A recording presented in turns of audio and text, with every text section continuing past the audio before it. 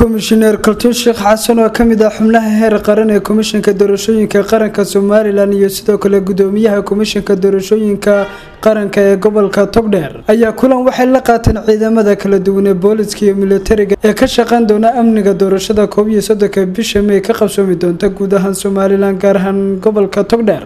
Waxaanay ciidamada faahfaahin uga bixiyeen howlaha shaqo ay qaban doonaan waajibaad dee saraakiil iyo saraakiil kaxigeen iyo dabley intaba waxa weeye shaqadan qaranka hore u soo qabateenoo waa isxasuusinun waxun baan idinku dardaarmanaa in komishanka qaranka waxaa goobta u jooga laba qof ayagaa ka mas'uula guddoomiyaha ka mas'uula sanduuqa. Sanduuqu waajibaad buu leeyahay. Asaguna waajibaad buu leeyahay.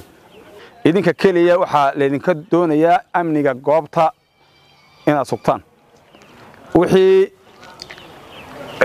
uu asagu yahay iga caawiyana aad ka caawisaan.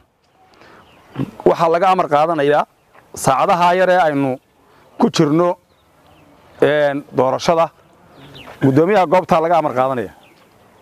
Asagaa mas'uulka ugu sarreeya ee goobta ah.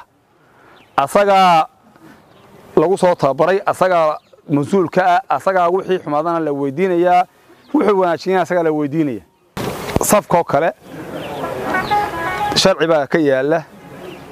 Goobta wakhti baa la furayaa. Wakhtina waa la xidhayaa.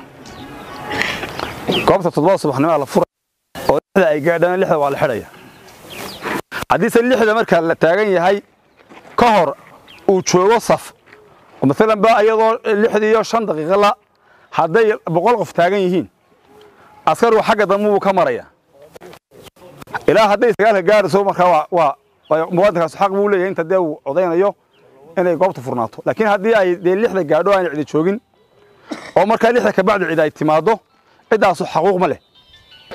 Goobta marka la joogo guddoomiyaha ayaa ka mas'uula sidaa inoo sheegay guddoomiyuhu laakiin wax badan oo idinka idinku xidhan baa jira.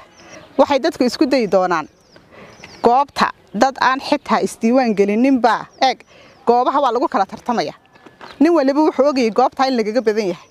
Dabeetana waxaa laga yaabaa dad kale oo mashquuliya in la soo diro oo aan kaadhka ay ku codaynaynba aan haysan. Marka taa lafteedana ka taxadira iyadana insha allah goobta waxaa xaq u leh qofka kaadhka codaynta sita.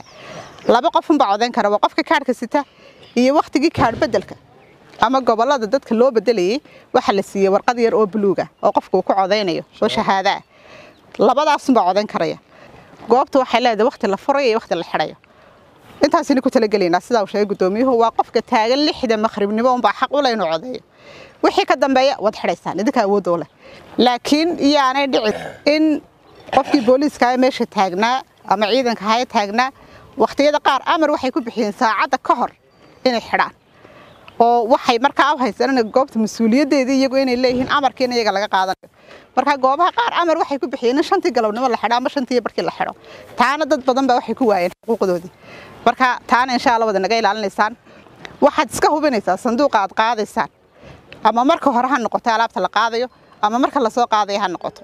Inuu sanduuqaasi xidhan yahay oo uu lingixiisii leeyahay قدومي هي تحيي نقص صحراء إسكهوبيو لكن ما دام عند مسؤول كتاه قاعد يلا قوس صاريو. وحفرين يلا قوديبي وعبد غنيبا في التلفزيون كستار تي في. مقال ضابرعو هذا oo hadal oo hadal oo ku hadal. Bishii oo dhan toddoba dollar. oo keliya. Ku darso fariin kasta oo aad dirtaana waa kuu bilaash. Haddaba si aad ugu shubato adeega kaafiye fadlan garaac xidig siddeed eber siddeed afargees ama xidig laba eber laba afargees. Isticmaal shabakadda ugu ballaadhan geyga somalilan